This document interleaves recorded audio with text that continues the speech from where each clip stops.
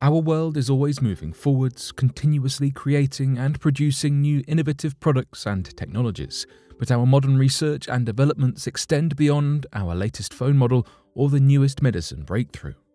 Some of the most fundamental research we carry out today focuses on unveiling past mysteries and rediscovering the lives of societies who shaped the world as we know it. So today, here at Unexplained Mysteries, we'll be taking a look at three recent discoveries that have provided us with a glimpse into human history.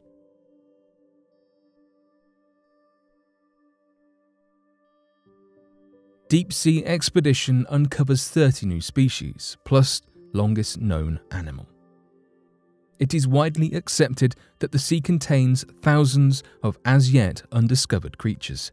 It seems that every time a research team dives to new depths, they uncover a host of new species, and the April 2020 expedition was no exception.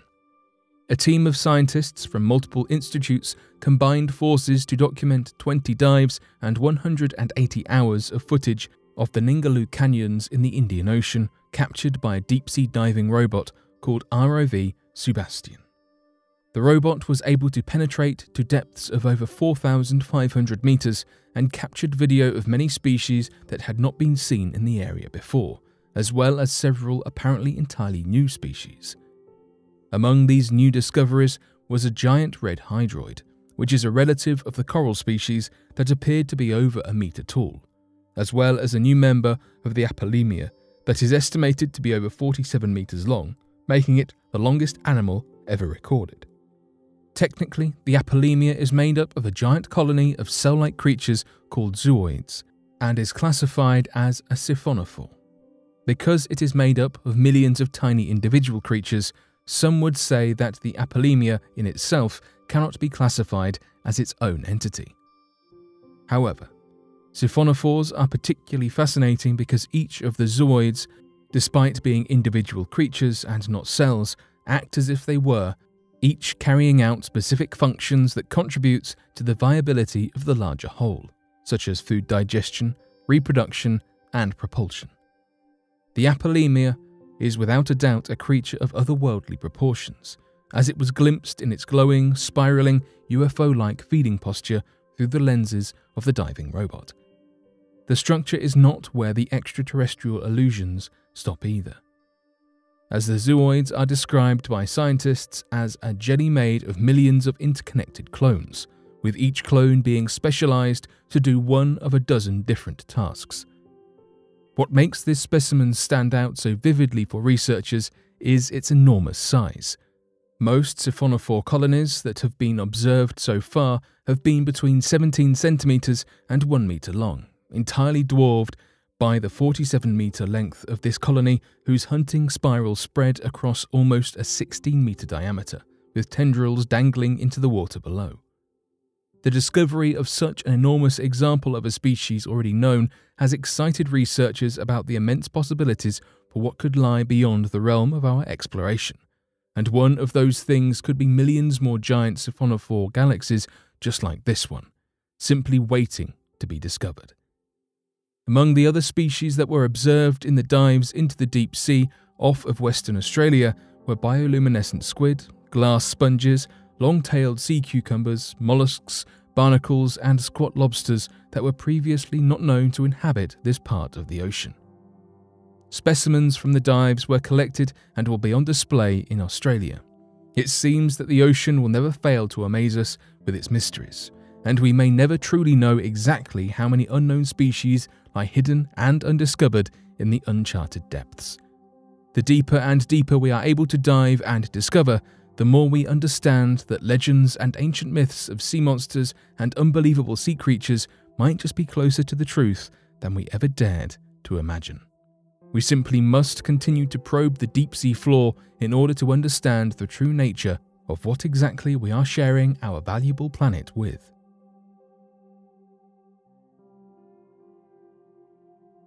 Scientists climb into Siberian sinkhole.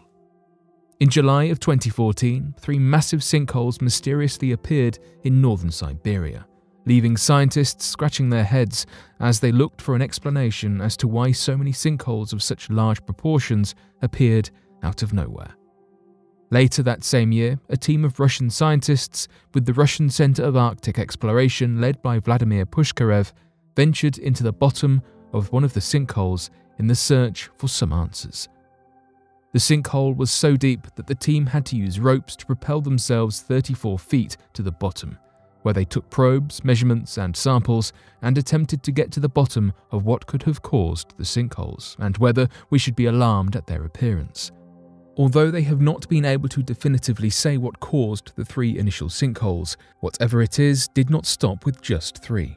In the years following the expedition to the sinkhole floor, at least 15 more have appeared across Siberia. These holes appear as deep caverns and funnels and are of an ever increasing magnitude, leading scientists to study them even more intensely as they hunt for the source. The prevailing theory of the sinkhole creation is that methane is building up underneath the Siberian permafrost covering the Earth's surface, and then it releases in a colossal burst that causes the formation of the gaping caverns. Many think that drilling for gas reserves and other such activities in the region could be triggering this methane buildup, leading to the concerning number of explosions in recent years, while others attribute the cause to instability created in the tundra as a result of global warming and still others believe it to be a combination of the two. Although the true cause of the creation of these sinkholes has yet to be determined, one thing is for sure the force behind these massive openings in the Earth's surface must be genuinely great. One of the largest and most recent sinkholes measured over 30 metres deep and 20 metres across, meaning that only an incredibly powerful explosion of some sort could have created it. Evgeny Chuvilin, the leader of an expedition into this newest crater and researcher at Skolkovo Institute of Science and Technology's Center for Hydrocarbon Recovery, has been attempting to find the root cause of the craters for years. He said the following Right now, there is no single accepted theory on how these complex phenomena are formed. It is possible that they have been forming for years, but it is hard to estimate the numbers. Since craters usually appear in uninhabited and largely pristine areas of the Arctic, there is often no one to see and report them even now. Craters are mostly found by accident during routine, non scientific helicopter flights or by reindeer herders and hunters. This means that there could be more sinkholes on top of the ones that we've already discovered. Further muddling the scientists' search for an explanation is the fact that the sinkholes turn into small lakes relatively quickly after appearing, meaning that if samples are to be taken from the bottom, scientists must not only stumble upon the hole in the Siberian permafrost by chance, but then also move quickly enough to obtain samples and study the formation before it fills with water. Although continued study of the craters leads teams closer and closer to a solution with every sample taken, for now, we are simply left to wonder at the massive forces that could be behind such an impressive explosion, and what it might mean for us humans and the planet that we live on. 430,000 year old meteor explosion. Scientists who study asteroids, particularly those that entered the Earth's atmosphere thousands of years ago, have a rough time tracking the sediment. Fortunately, any asteroid that crosses Antarctica likely left a discernible trace, as the environment has been totally untouched and perfectly preserved for almost the entire history of the Earth. This was the case with an asteroid that plummeted to Earth 430,000 years ago, during the time that the first Neanderthals were beginning to expand across the globe. The asteroid never actually made contact with the surface of Antarctica, but instead exploded in the sky overhead in what is known as an airburst, leaving shrapnel, space rock, and intense damage to the Earth below. The location was lucky for two reasons.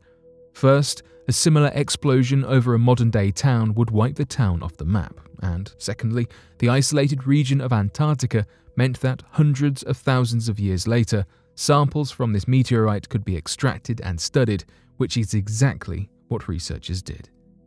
And what they found surprised them. The samples of the Arctic meteorite did not resemble samples taken from anywhere else in the world, as they were bonded together in strange, glob like formations. These discoveries have allowed scientists to piece together what likely happened, even though the event was hundreds of thousands of years ago. Based on the samples taken, they believe that the asteroid could have been as large as 150 meters wide. Because of the strange formations of the samples, the meteor likely broke up relatively close to the ground, which allowed the fragments full of nickel and magnesium to react with the Arctic ice to form the odd shapes. Airbursts are even more damaging than asteroids that contact the Earth, because the explosion from the former can destroy an exceptionally large surface area, while destruction from the latter is usually limited to the crater that it creates.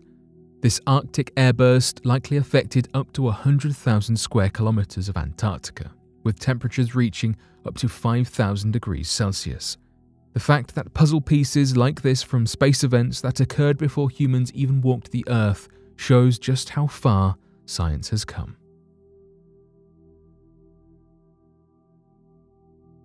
Mysterious blobs of dense rock hundreds of miles tall sits deep inside our Earth.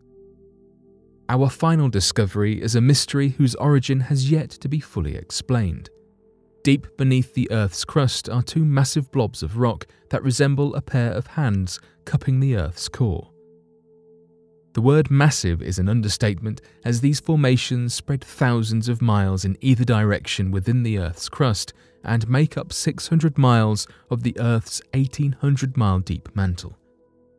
Geologists have spent the last four decades trying to determine the source of these gigantic continent sized formations that have been discovered under Africa and the Pacific Ocean. While some experts have suggested that these are tectonic plate fragments trapped beneath each other, New research points to an otherworldly explanation instead.